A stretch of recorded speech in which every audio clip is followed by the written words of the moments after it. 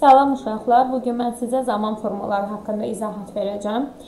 Bildiyiniz kimi əvvəlki bölmələrimizdə, əvvəlki dərslərimizdə YouTube kanalımızda izləsəniz, orada present simple tense bölməsi var ki, o bölmədə mən sizə indiki sadə zamanın daha geniş formada izahını vermişəm.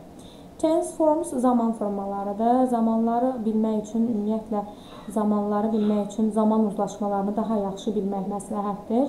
Zaman uzlaşmalarını bilmək üçün ümumiyyətlə sadə zaman nədir? Qeyd edeyim ki, sadə zaman ə, e, sadə zamanlar, keçmiş sadə zaman var, indiki sadə zaman var. İndiki sadə zaman forması ə, e, üçüncü şəxsin təkində feilin sonuna et şəkilçisi artırmaqla əlavə olunacaq. Yalnız bunlar üçüncü şəxsin təki dedikdə he, she, it nəzərdə tutulur. I, you, we, they burada feil olduğu formada qalacaq. Və biz isim bölməsində keçmişdik ki, Əgər sözün sonunda s, double s, sh, ch, tch, x varsa, sonluğa biz s şəkilçiləri əlavə edəcəyik və bunlara fikir verməliyik. Bir də ümumiyyətlə mən e, indiki sadə zaman testlərini eləyərkən uşaqlara ipuçları verirəm ki, test eləyəndə biz nəyə baxmalıyıq? Daim təkrarlanan, adət halına almış hərəkətləri bildirmək üçün istifadə olunarsa və yaxud kimsə tərəfindən qarşısı alına bilməyən təbiət hadisəsi var, ümumi həqiqətləri bildirirsə, biz burada indiki sadə zamanda, yəni üçüncü şəxsin təkində S qoyacaq. Məsələn, deyək ki, günəş şərqdən çıxır. Su 100 dərəcədə qaynayır. The water boils at uh, 100 degrees Celsius. Burada suyun qarşısını biz qaynamağının qarşısını ala bilmərik təbii ki, günəşin hardan çıxmasının qabağını ala bilmədiyimiz üçün o kimsə tərəfindən qarşısı alına bilməyən hadisələr indiki zamanda işlədiləcək. Və xüsusi zaman göstəriciləri var ki, usually, always, often, never, sometimes bu sözlər varsa cümlə indiki zamandadır. Gəlin testlərə baxaq.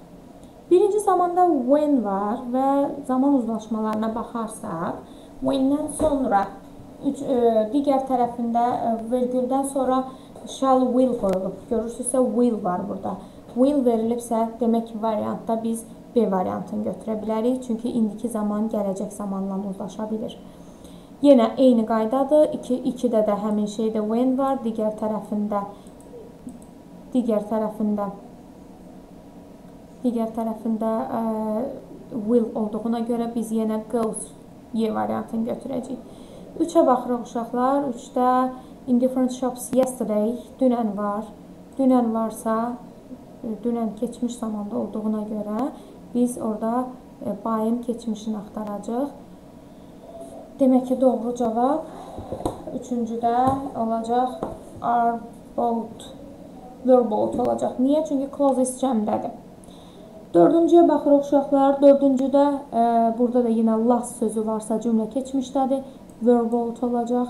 Sonra e, beşinciyə baxırıq. Tomorrow sözü var. Gələcək zaman göstəricisidir. Biz də bilirik ki, gələcək zaman göstəricisi yalnız will be, shall be ilə düzələr. Altıncıya baxırıq. Last sözü var, yenə cümlə keçmiş zamandadır. Gəlin biraz geniş formada izahına baxaq. Məsələn, 11-də baxaq next Friday. Sorry. Aha. Next Friday var 11-də.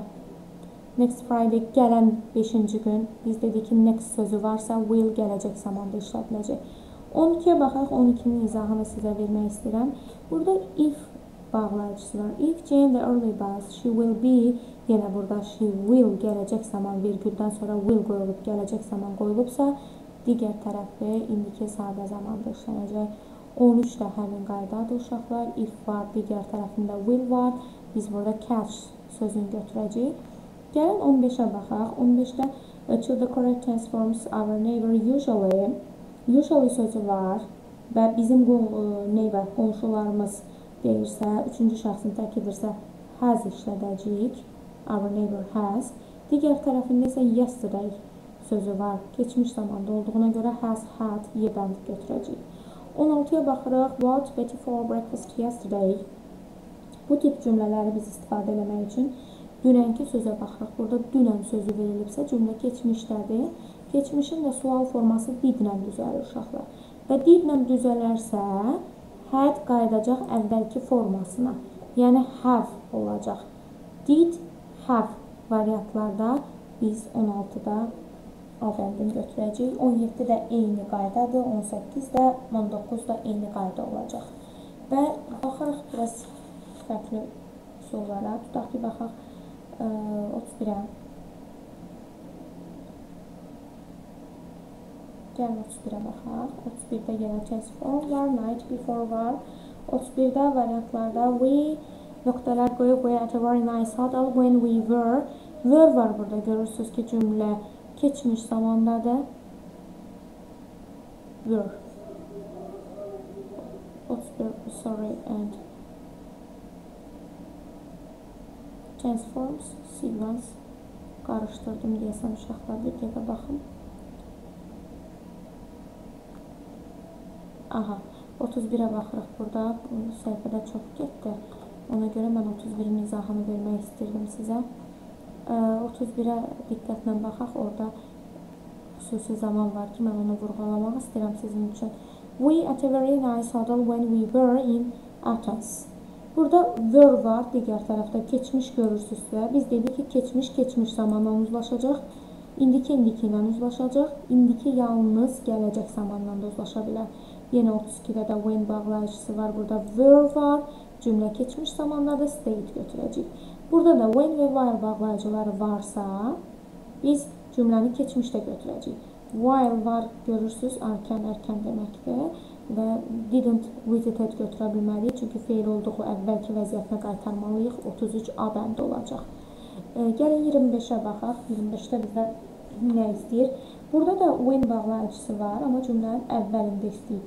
25-də When the rainforests increase rapidly Rapidly sözü var. Tez-tez yağır. Yağış meşələrində burada olacaq are destroyed 25-də B bəndi olacaq uşaqlar. Gəlin biraz biraz da genişləndirək səhifəmizi. 38-ə baxırıq. 38-də burada nə olacaq? Burada when bağlayıcısı var. Halbuki mən dedim ki, when varsa cümlə keçmişdə olacaq.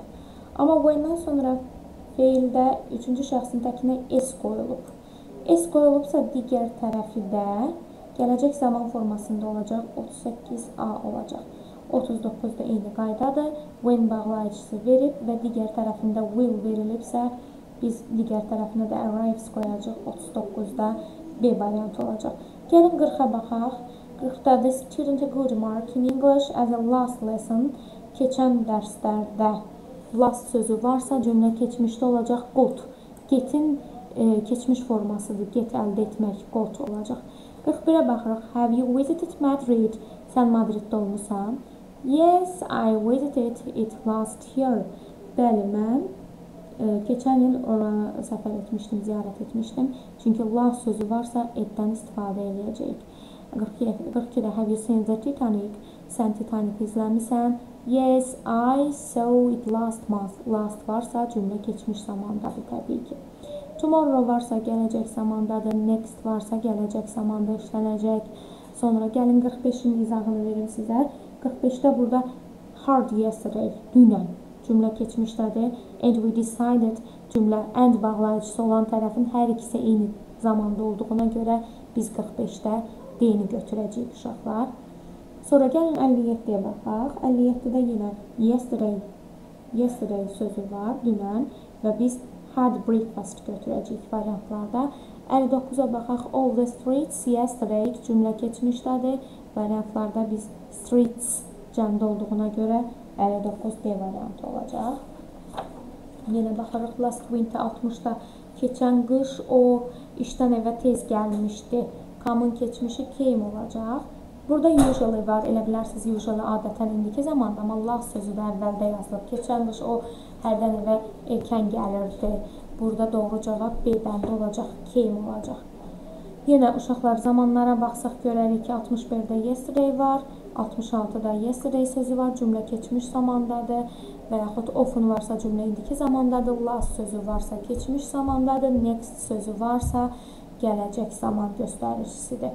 Amma 70-ə bir də baxaq uşaqlar. 70 70-də when var, when. When bağlayıcısı mən demişdim ki, keçmiş zaman, when while keçmiş daha çox keçmiş zamanla bağlanır. Amma when-dən əvvəl baxaraq will görürük. Will gələcək zaman formasıdırsa, biz avtomatik olaraq C variantında comes götürə bilərik. They will go to the theater when she comes. Gəlin, e, dostlar.